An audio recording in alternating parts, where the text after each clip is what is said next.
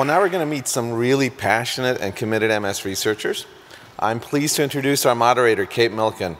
Kate is a longtime volunteer who's moderated dozens of panel discussions as well and produced several videos for the Society. Kate, thanks for being here today. Kate? Thank you. Thank you. Hi, everybody. So for the past four years, I have had the unbelievable privilege of getting to interview scientists and researchers. I've interviewed them at webcasts, I've interviewed them at ECTRIMS. I can wholly confirm that they are very, very smart. I can also tell you, as somebody living with MS, um, that they are always thinking about you. Uh, it's a serious underlying mission and motive that I feel all the time. And when I started, their focus was much more conventional. And over the years, I have gotten to see this spectrum open up. And Tim Coetzee is totally right. There is this new, different way of thinking um, that's happening. So let me show you what I mean. So I'd like to introduce the people who are coming in who will tell you more. Let's meet the panel. Uh, first, we've got Dr. Bruce Bebo, Dr. Albert Lo, Dr. Lisa Barcellos, and Dr. Ben Deneen. Let's get this party started.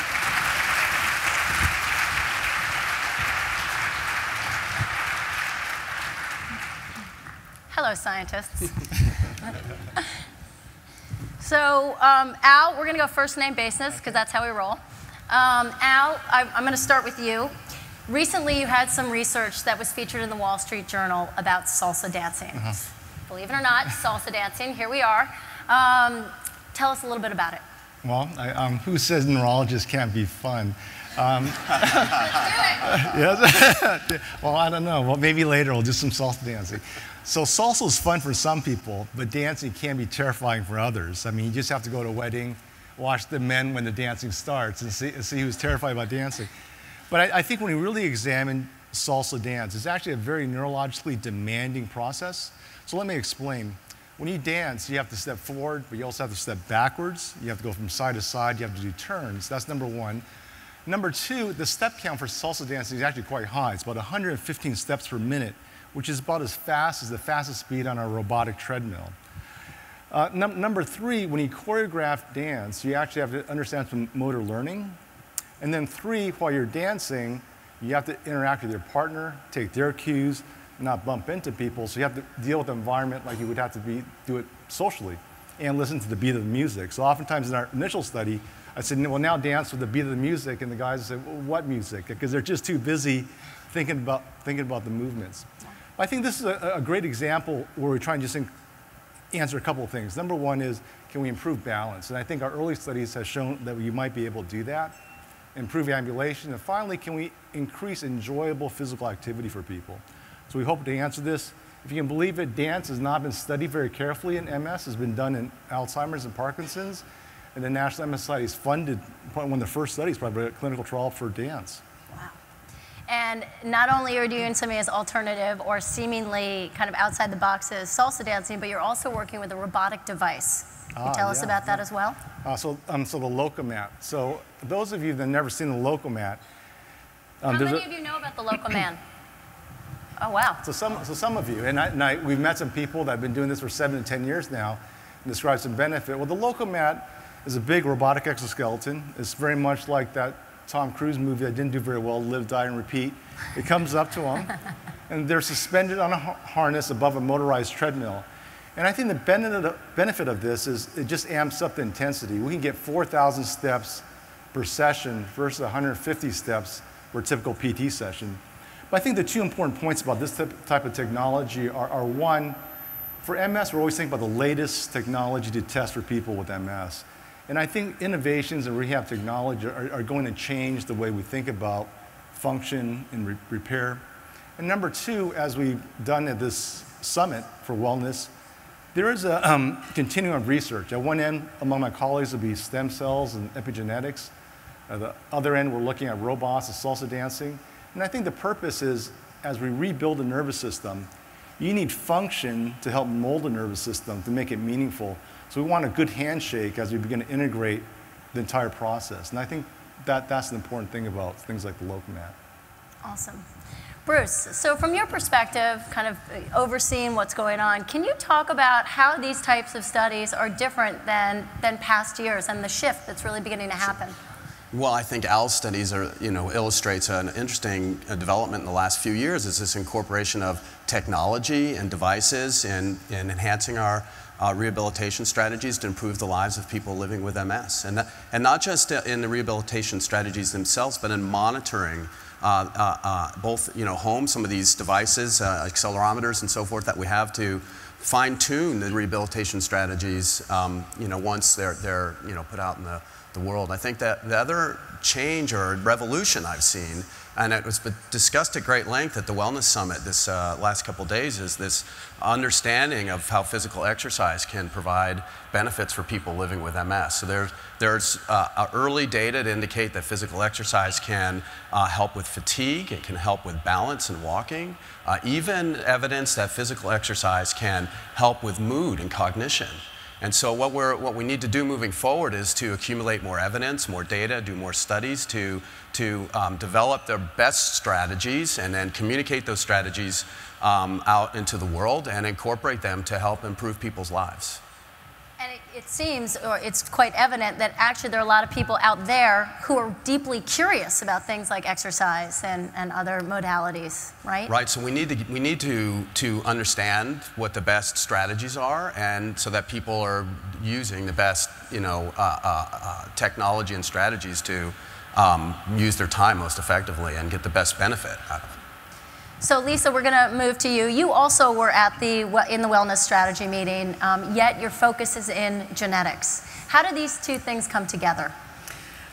So I started working in the field of genetics 18 years ago, which is hard to believe, uh, in graduate school, and was motivated to do so by a close family member who has MS. And I've been working with my collaborators uh, at UC San Francisco and Duke University and Kaiser Permanente to study genetic factors that both increase risk for developing disease and also uh, genetic factors that influence progression and other clinical outcomes like age of onset and, and disease severity. And so we've been working uh, for quite a while on, on genes, and I can say more about that in a bit. But we, we know uh, historically that the environment plays a very large role in MS. And so about eight years ago, uh, I started working with colleagues at Kaiser Permanente in Northern California to develop a research program that integrates both genetic and environmental risk factors as well as clinical factors and, and also including look at comorbidity. Um, MS patients suffer from many other comorbid conditions. And through that work, we've built a program that allows us to look uh, simultaneously at multiple risk factors, both genetic and environment. And so it's very exciting to see what the wellness strategy is attempting because some of the environmental risk factors that we're looking at are very similar. We're, we're using observational studies in large numbers of patients and controls. Uh, for example, within the Kaiser Permanente Northern California membership, and we are looking at things like diet, and we are also looking at other environmental exposures, and we are looking at mental uh, health, and um, also uh, physical activity, and many other toxins and, and things like that. So to be able to participate in the wellness strategy is very exciting because I'm coming at it from a genetic uh, epidemiologist perspective, uh, doing observational studies and looking to see that the MS Society is really trying to look at these modifiable factors and to implement strategies to really improve MS patients' lives.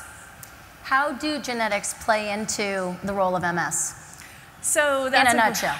In a nutshell. Oh, it's a great question. And it's a really exciting question uh, right now. Uh, in, in particular, uh, the work that I've done in collaboration with the International Multiple Sclerosis Genetics Consortium. So I would say of the 18 years that I've been working on MS and, and looking uh, at both adults and children, uh, the most exciting work that's coming is coming from the last 11 or so years working with the consortium. And through that work, uh, most recently, uh, we have raised the number of genetic variants that are uh, confirmed for MS to over 150. 150 different genetic variants have been identified convincingly to play a role. But the, the main point to get across is that none of these genes are um, enough on their own to cause MS. There is no single gene that causes MS. In fact, there's, there's um, a, definitely a genetic component, genetic susceptibility to develop MS. We know this from family studies and twin studies. But what we do know is that it's not uh, a single gene and it's very, very modest, large numbers of very, very modestly acting variants and different ones in different individuals. Hello, Ben.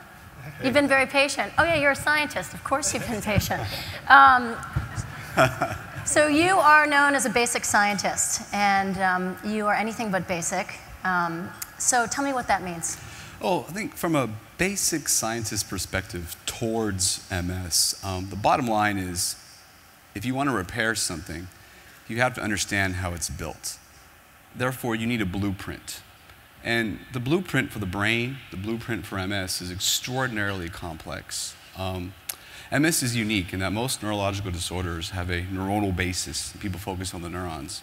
For MS, the neuron insults are secondary. The primary insults are the immune system, the glial cells, the reactive astrocytes, the vasculature. So it is this extraordinary complexity that makes it really difficult to study to build that blueprint.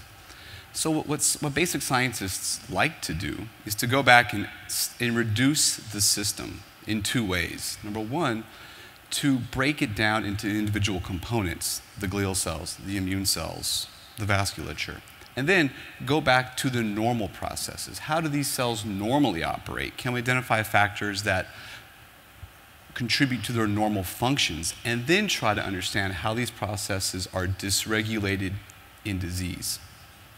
I think a good example of this is, is or one an example of this is stuff that I do in my lab where we use chick embryos to study multiple sclerosis. Yes, the, the, the stuff that's the eggs in your refrigerator are not just for omelets, they're also for studying science.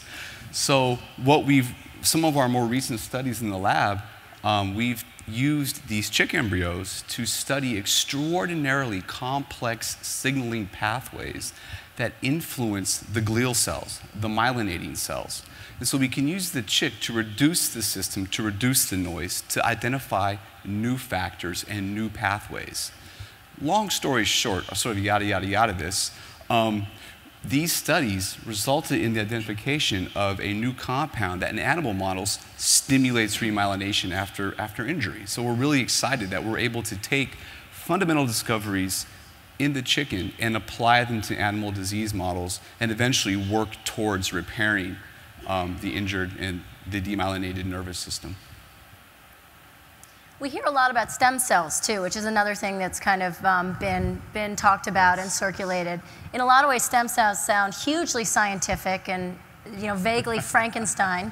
Um, how accessible are they for people living with MS? Uh, and their cells. advancements. Yeah. Stem cells. There's a lot of hope and promise for stem cells. I, I, from my perspective, um, it's amazing that we can take skin cells from any one of you, and in a matter of weeks, we can make myelinating oligodendrocytes in a dish. It's, it's fantastic. It's amazing.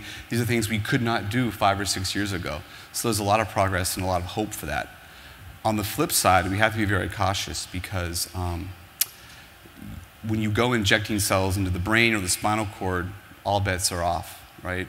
These cells can start to grow unrelentingly. You're putting them into a diseased environment that is very different than a dish. So, and that is very different than mouse studies that have even been conducted. Um, so we have to be very cautious about that. Also, we hear a lot about stem cells for other diseases like the pancreas, the liver, like diabetes is a great example where you simply want to replace the beta cell to make more insulin. Well, the pancreas is not the brain, right? It's much more complex than that in the brain. So, we, so while there's been a lot of progress on this front, there's so, still so much more to go. And I would, my advice as a basic scientist would be to proceed very cautiously with this. Awesome. Um, Al, so we're, we're going to you. Uh, do you want to do your salsa dance? Not yet. Okay. Um, so you've been focused on health and wellness for a long time yeah. and thinking in this kind of different mode. And you also took part in the health and wellness meeting yesterday. So what was your takeaway? Um, well, I think I could speak on behalf of the 60 plus clinicians and scientists that came to this meeting. And we were all very excited, engaging, lively discussions. I mean, I think scientists and clinicians like to talk with other people about these problems. I think it's a very important topic. It's also very timely. One of the things we learn is when we look at social media traffic, the number one topic comes up is wellness. And so, so people want to know about it, but there's also an incredible amount of frustration.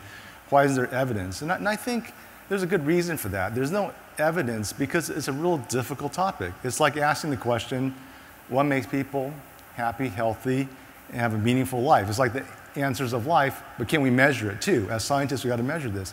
And it might be that extreme, but they're very in, intertwined. So I, I, think it was a great privilege to be there. We saw opportunities everywhere. Um, the, to answer these questions is going to take a lot of different disciplines, which I think is the nature of the disease. Um, but we're really optimistic, and we hope to kick this off, and we're going to get some good projects going to start answer these fundamental questions. I was also at the meeting, and there were a number of people there who are living with MS who were alongside the researchers and, and, and really talking about it. First of all, one thing I thought was interesting was the fact that when you, know, when you talk about a formal diet study, how hard it is, even in the most simple form of you are going to eat the same thing for 90 days, make sure you do it and don't fall off the wagon. Um, you know, those types of things where you really think how hard it is to kind of keep those, um, those studies really rigorous or whatever else.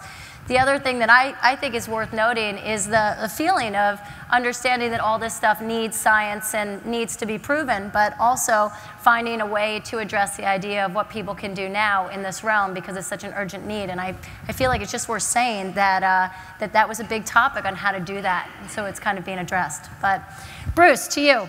So you have an opportunity to see a lot of cutting edge stuff. So what is really exciting to you right now behind that bow tie?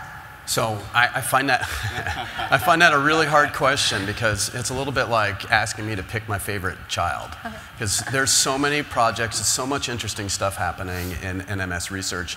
But I know you're going to force me to pick something. Mm-hmm. So I, I, I think the topic I would choose, and, and, it was mentioned earlier today, is repair. I mean, the, the, the idea that we could repair lost myelin a few years ago was science fiction. I mean, this was fantasy. I mean, this was completely uh, uh, uh, out there. And, and just a few years ago, uh, there was a revolution. And it was the discovery of a cell that, cells that live in all of our brains, everybody in this room, and it's called an oligodendrocyte precursor cell. Everybody say oligodendrocyte precursor cell. Three times fast. right. So, but let's just call it OPC for short, because that's how we refer to them. We just say OPCs. Now, these are cells we didn't even know existed a few years ago. They're abundant in our nervous system. 10% of the cells in our brains are these OPCs. And these are the cells that can repair myelin. And early, in early stages of MS, uh, uh, after a, an attack or an exacerbation, these cells migrate to the MS lesions and they repair the myelin, and they do a pretty good job.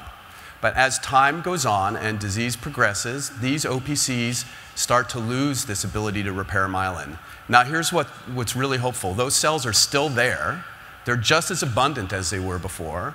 They're alive. They migrate to the lesions, but they just sit there and they don't remyelinate.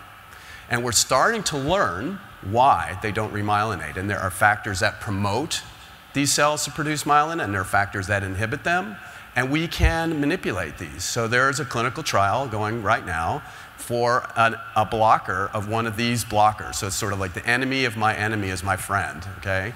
and this is in a clinical trial right now. Tim mentioned earlier the clinical trials that were um, evolved out of the research that was funded by uh, Jonah Chan. There are three that I know of that are publicly uh, uh, knowledgeable uh, clinical trials testing repair agents right now, right now. So I, yeah. I, yeah, I think that's. So I, I, think this is the most, I mean, there are a lot of promising areas, but I think this is one of the very most promising areas. I really feel like we will be seeing a repair agent sometime for MS in the near future. Um, ben, I'll, I'll start this with you, and I'm going to actually pose it to all of you guys. Is how do you see the scientific world changing? How is it changing? Well, I, I think from the MS perspective, what, what's really evolving is, from, as a base scientist, we like to view things in isolation and reduce them. What's happening now with emerging technologies is we can understand the interplay between each of these different cell systems. As, as Bruce was alluding to, you have these OPCs that are in suspended animation. And we, and we want to understand how are the cells surrounding those OPCs preventing that. So the interplay between the OPC, the immune system, the OPC, the vasculature, the OPC, the reactive astrocytes, how these cell cell populations are integrated and interplayed and how that's dysregulated in MS, I think, is the fact that we can study that now and that it's appreciated. I think that's, that's what I'm most excited about and where we're going with this. I, all I can do is think of that song, you know, yeah, OPC, yeah, you know me.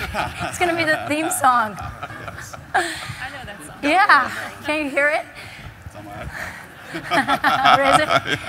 You're going to be saying it different now. Um, It's a Lisa.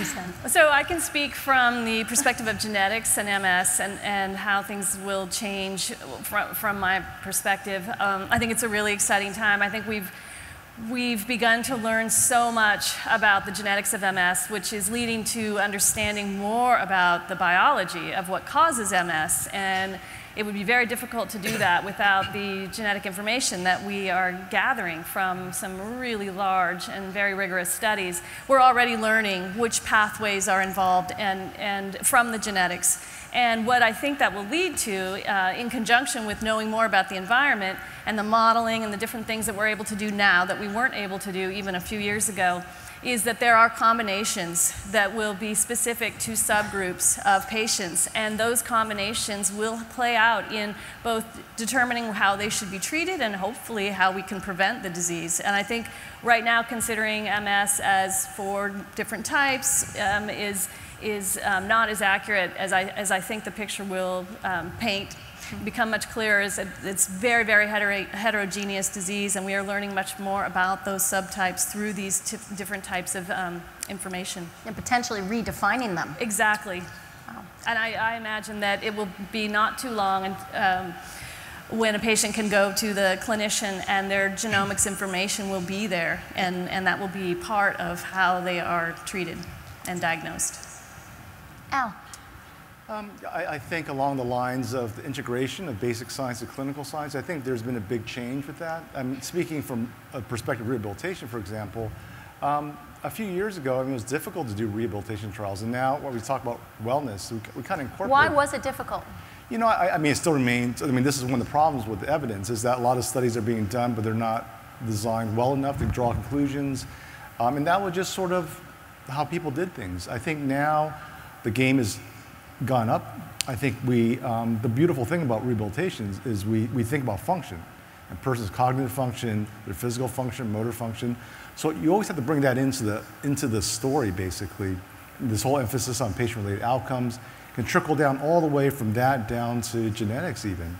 So I really, and now rehab is being published in some of the best the best journals out there, the highest impact journals. But I think as we talk about now, what I really kind of see is you know, we have the opportunity to, to work on all levels, even if it may not be the most exciting things. We might be able to do things in exercise and wellness today, and then as we kind of build up other promising reparative strategy, which may take longer, we can kind of hit at multiple angles rather than just one very specific perspective. Bruce. So I think I'd, I'd like to elaborate on uh, Lisa's comments because um, I, what, there was a, a, a, publication that just came out a couple of weeks ago in Nature that was using this information from the, col- the collaborative, the genetics collaborative, to identify those risk variants that are actually causal. The, that, the, out of these 159 now variants that are, are, are increasing a, a, a risk for, for MS, we're learning which one of those have the highest uh, impact. And it turns out all of them are immune genes, every single one of them. And this is getting at the heart of MS. I mean, this is, uh, this is the fundamental cause. And if we can understand the fundamental cause, which is the, the, the promise of genetics, and we're realizing that promise after significant investments that we and others have made, and, and tens of thousands of people who've donated their, their blood and their DNA for this effort, we're really getting at the root cause of MS. And once we get the root cause, that's where we're going to be able to be in a position to end MS forever. Um, Bruce, our, our last question um, is uh, uh, for you, what do you feel, you know, in the, in the world of technology and how things are moving faster? One thing that I found with um, interviewing researchers um, was a real feeling of, of collaboration, a collaborative approach. And I think um, the International Alliance uh, for Progressive MS is a, is a great example of that. So can you comment about how the scientific world has changed in terms of that type of collaboration? Sure. So, so uh, Ben sort of alluded to it earlier. I mean, these, these problems are very complicated, and they require expertise from a lot of different um, perspectives. And so scientists, as time has gone on, and my observation, and now my 20 plus years of being in scientific field, is it's gotten much more specialized. And so it really requires uh, focus on, and, and it's in very specific areas, which requires, absolutely requires collaboration. And so I, I see much more collaboration um, now than we used to see. It was more competitive and less collaborative 10 years ago, then, and it's much more collaborative and less competitive but, now. And the scientists actually want to collaborate. They it's need totally to. They have field, to. right? Have to. Yes. Absolutely have to. Have to. Have to.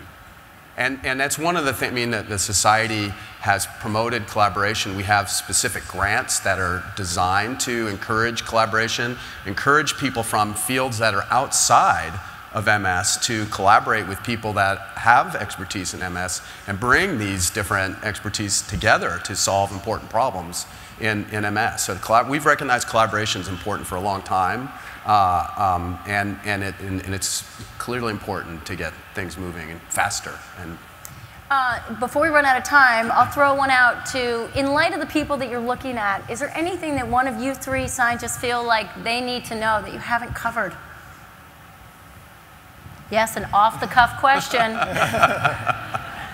I want to see a salsa dance. you cannot do it for two minutes. That is just not nice. We can teach everyone. But you know, I think, well, go ahead. I was going to say, at one point, I thought, with, with respect to what Lisa was saying about genomics, um, you know, these genetics, there's so many different genes that are linked, and what's going to be key in the next 10 years is functionalizing the genomic information. What's driving the disease, and what's just what's a passenger, and what's just along for the ride. I think that's going to be really important in the next 10 years, and we have the technologies to do that. Anything else? You know, one thing that I would say too is that whole feeling of um, the MS population saying, hurry up. How do you respond to that? I, think, I think one of the things that's happening now, for example, National MSI, because, for this sake of example, this Wellness Summit, because there's an emphasis, now funds are going to be directed toward that, which makes it a lot easier to, to really dig in and, and solve the problem. When, when, if there's not an emphasis, then it could be anything. So I, I think there's some directions from, from some of the grant agencies that help. And that actually facilitates things quite a bit because they can help direct things and get people together, like, like, like you mentioned, Bruce. So. Wow. Awesome. Anything else anyone wants to add?